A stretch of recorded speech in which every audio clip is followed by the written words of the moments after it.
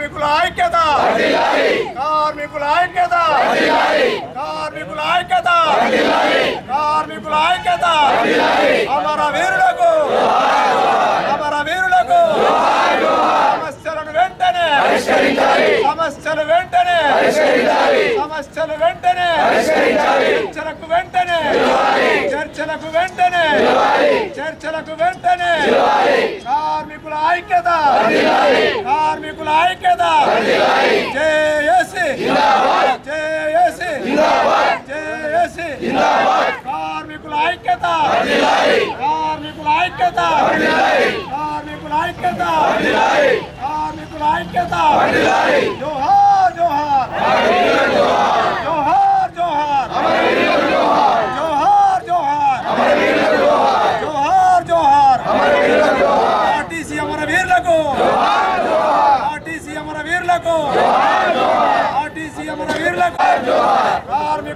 ఐక్యత కార్మికుల ఐక్యత JAC JAC JAC JAC RTC కార్మికుల ఐక్యత ఆర్టీసీ కార్మికుల ఐక్యత ఆర్టీసీ కార్మికుల ఐక్యత సమస్యలను వెంటనే సమస్యలను వెంటనే సమస్యలను వెంటనే సమస్యలను వెంటనే ప్రభుత్వం ఉండి వైఖరి. ప్రభుత్వం ఉండి వైఖరి. ప్రభుత్వం ఉండి వైఖరి. కార్మికుల ఐక్యత. కార్మికుల ఐక్యత. ప్రభుత్వం చర్చలకు వెంటనే. ప్రభుత్వం చర్చలకు వెంటనే. సీఎం ఉండి వైఖరి. సీఎం ఉండి వైఖరి. ఆర్టీసీ అమర వీరులు ఆర్టీసీ అమరవీరులకు జోహార్ ఆర్టీసీ అమరవీరులకు comrade driver Yakub Pasha. Comrade driver Yakub Pasha. Comrade driver Yakub Pasha. అయినటువంటి యాకూబ్ గారు మరి నర్సంపేట డిపో డ్రైవర్ గారు హార్ట్ అటాక్తో మరణించినందున మన డిపో ముందు రెండు నిమిషాలు మౌనం పాటించాలని జేసీగా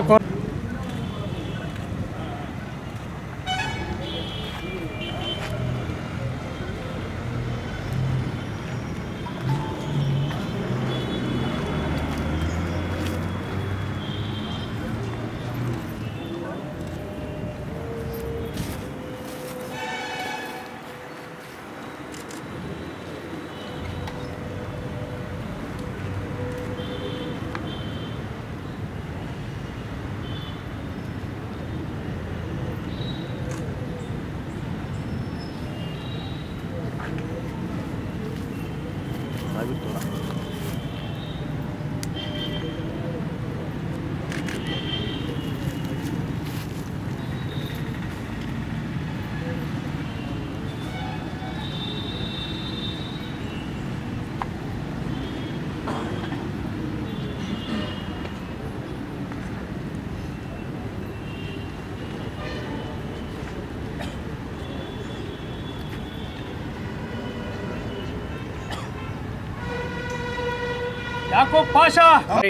నేటితోటి సమ్మె నలభై ఏడు రోజులకు పోయింది. ఇంకా కూడా గవర్నమెంట్ స్పందించడం లేదు. ఈ రోజుకు అంటే నిన్న జరిగిన యాకూబ్ పాషా మరణంతో మరి ఆర్టీసీ కార్మికులు దాదాపు ఇరవై ఐదు మరణి ఇరవై ఐదు మంది మరణించినా కూడా ఇప్పటికి కూడా చెల్లం వస్తలేదు. మరి ఇలా ఆత్మ బలిదానానికి మన ఆర్టీసీని ఖచ్చితంగా బలోపే మన స్ట్రైక్ను బలోపేతం చేయవలసిన అవసరం ఉంది.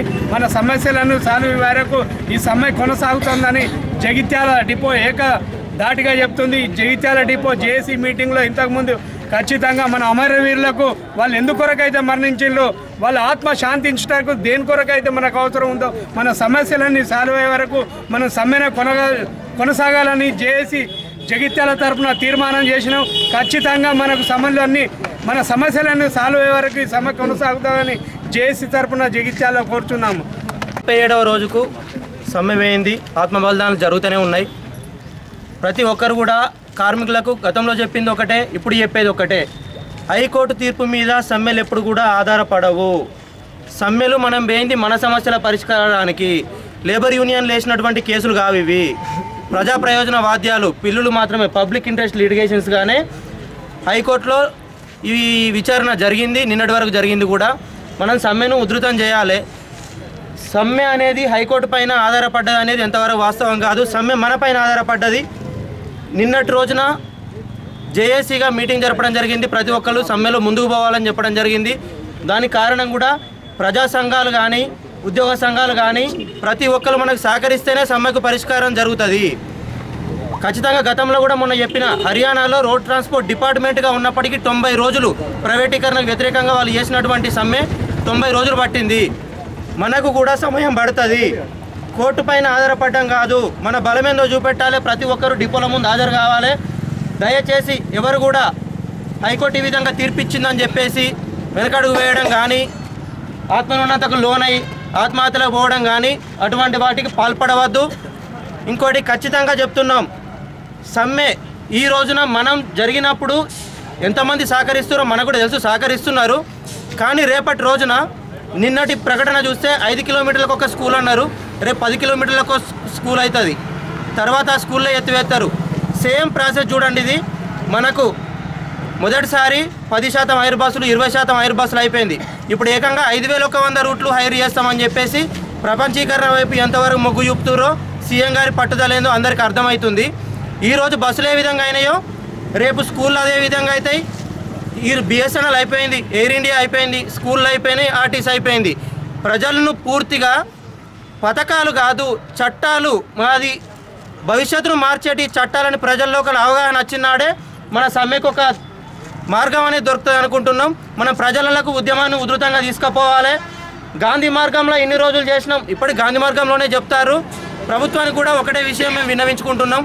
గాంధీ మార్గంలో ఉన్న వాళ్ళను గాంధీ మార్గంలోనే బ్రిటిషర్ల బ్రిటిషర్లు అటువంటి స్వాతంత్రం ఇచ్చిపోయారు మనం కూడా ఇంకొక విషయం గమనించాలి. ఈ కార్పొరేషన్ విలీనం చేస్తే ఇంకా చాలా కార్పొరేషన్లు ఉన్నాయి. విలీనం చేయాల్సి వస్తుంది అని చెప్పేసి అడిగిన అడిగిర్రు. మీరే అడిగిర్రు మన ప్రభుత్వం అడిగింది. తెలంగాణ రాష్ట్రం ఇస్తే ఇంకా పద్నాలుగు రాష్ట్రాలు కూడా తె- తెలంగాణ లాగా పోరాడడానికి సిద్ధంగా ఉన్నాయి. మీ రాష్ట్రం ఇస్తే పద్నాలుగు రాష్ట్రాలే ఇవ్వాల్సి వస్తుంది.